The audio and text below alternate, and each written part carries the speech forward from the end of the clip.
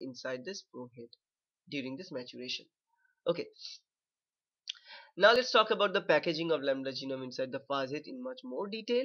As you can see here, this is the section. This is the section at the terminal we are having uh, cos sites and we are having this prohead coming in. So prohead is kind of coming in and the protein called GPF1 is also there and cos sites are present at both the terminus as you can see in this picture. So cos is here, cos is here and then it requires NU1 protein. Now NU1 protein is kind of guide protein.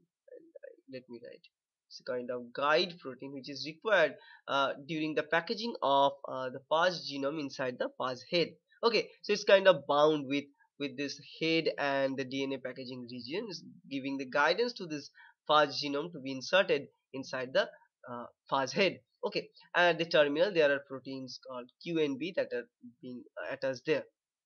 Then as they start the packaging and for the packaging they require energy. The energy is supplied from ATP hydrolysis. So ATP is getting hydrolyzed and they start to package it. And while packaging you can see here clearly that the pro head is also matured into a mature head. So it's a pro head previously. Pro head of phage now it's a matured head here. So maturation of head is also going on simultaneously during this packaging.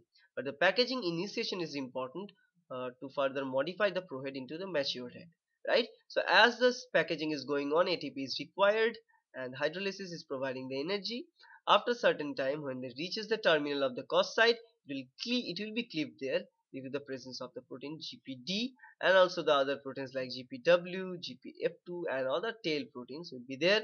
They will come and attach to this region and finally they will uh, provide the mature phage progeny particles. Okay, but this kind of packaging will continue from one cos site to another cos site in both the terminals. Okay, that's how they can usually know how to package and which is the amount of DNA to be packaged.